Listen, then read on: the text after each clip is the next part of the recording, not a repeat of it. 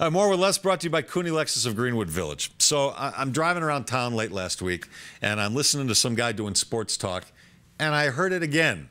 The host was saying the Broncos should rest Peyton Manning more this season, not pull him at the end of blowout wins or losses, which would make sense. No, he's saying that the Broncos actually hold Peyton Manning out of actual games, even if he's healthy. He's 39. His body can't take a full season anymore. Keep him fresh for the playoffs.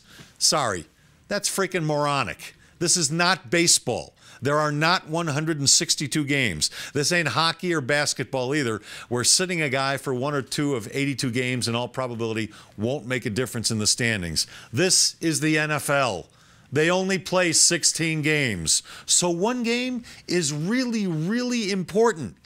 Many, many teams miss out on the playoffs by one game every year. So you're willing to take that chance, sitting Peyton for a game or even two if he's healthy? Moronic.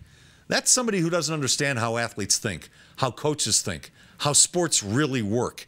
Peyton Manning makes a lot of money. Not as much as last year since he took a pay cut, but he makes a lot of money.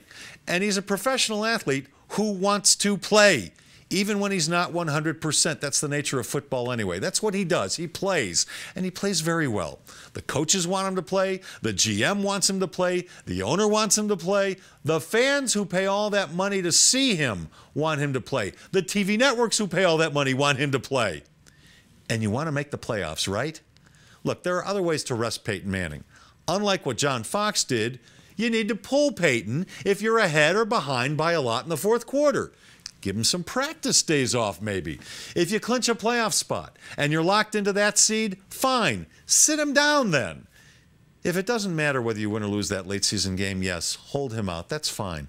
But thinking you can sit him against a bad team like the Raiders or the week before or after a bye, so he'll have two weeks off, that is stupid.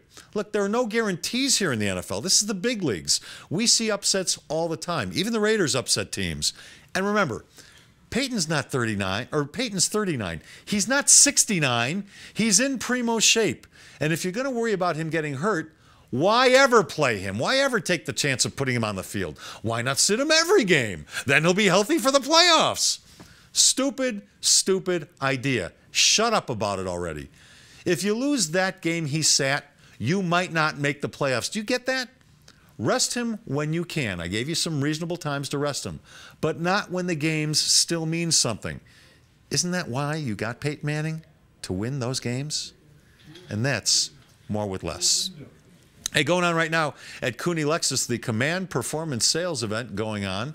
Kuni Lexus of Greenwood Village. They've got more new models than ever. I know. I went in over the weekend to visit.